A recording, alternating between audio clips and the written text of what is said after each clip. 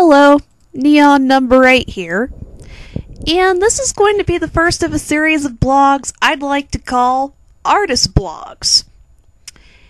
And I'm just going to dive right into this one. I'd like to start out by discussing a recent piece of mine that I finished. It's called Saxophone Revolution. What the inspiration for this was, or rather where it started, is that this semester I happened to take a music appreciation course. Originally, the thought and concept behind me having to take this was I have to take it as a requirement for the college I'm going to be transferring to. But as of now, it's definitely my favorite class. I've been introduced to a huge menagerie of different musical genres and have gotten a really great understanding and a better appreciation of music as a quantitative whole. I'm not going to call myself a music theorist or anything close to that, but I will say this much. I understand it just a little bit better than I did before.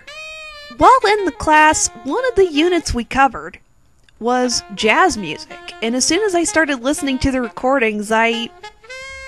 something clicked on a subliminal level. I absolutely fell in love with it from Louis Armstrong's great virtuoso approach and treatment of the trumpet and his uh, pioneering in the New Orleans style, from New Orleans style to fusion to just the classics and newer styles and everything else in between. It got my brain thinking, it got the gears turning. Around this time, I really needed to come up with an idea and a theme for my next project in painting, which the theme happened to be collage. So I decided why not choose a specific instrument and create a collage based around that? What I ended up doing was going with the saxophone. I've just been absolutely enamored with the saxophone lately. I've actually kind of entertained ideas of maybe buying one and learning how to play it, but I highly doubt that's going to happen. That's kind of a fairy tale right now. Beyond musings such as those, though, how I started the piece was that I sort of sketched out a tentative set setting and placing for how I wanted the different elements to be set up. And then I just bought a great big canvas, 22 by 28. Really, really huge canvas. And started creating a base out of scotch tape. It was kind of amusing to see a whole bunch of people just look at me like, What are you doing with tape? This is painting class. After I had the initial base down, I took a couple of pieces of paper, painted them with different shades of yellow from sort of a beige in between yellow and brown, all the way to a more gold sheen, sort of a what you'd expect when you think of the saxophone, just that really, really golden yellow and yellowish orange. Just having a spectrum of different colors to pick from. And then after I had these pieces of paper painted, I cut them out into a bunch of miscellaneous rectangles and started gluing them all over this uh, initial base hodgepodge with no real pattern or arrangement or setup to it. And then once I had that, I knew I needed just a little bit more definition to the saxophone. And considering my version was incredibly abstracted, I could get away with sort of giving it a cartoonish outline. I took a bunch of modeling paste, sort of went around the base I already had, and painted the modeling paste black. It sort of gave the saxophone a cartoonish outline and really defined it, really defined its shape, and made it definite that, yes, this is a saxophone, albeit very abstracted and set up in sort of a different way.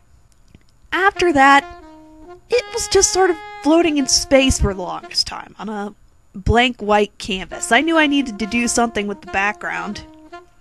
But I just didn't have any specific ideas in mind. My original intention was to paint somebody playing the saxophone in the background or make said character in Photoshop and then print out the picture and put it there. But I ended up doing something else entirely instead. I just kind of brought the paints out since part of the grade in painting class is you have to be working on the painting while you're in class. I just brought out the paints and started painting on the canvas, and from there, I just started subconsciously thinking about the recordings I listened to in music appreciation, the different moods and tones of this music, and from there, one part was sort of the brighter, more cheerful flavor of jazz expressed in pink, sort of blue, just warmer colors. And then the other side was cooler colors blue, green, turquoise. In other words, I sort of tried to arrange the colors in the sense those would be the colors I thought of when I listen to a certain genre of jazz, one being New Orleans jazz, another being fusion, just it's it'd be really up to interpretation, but that's what I was subconsciously thinking about when I started making an abstract background and randomly picking colors to create said background.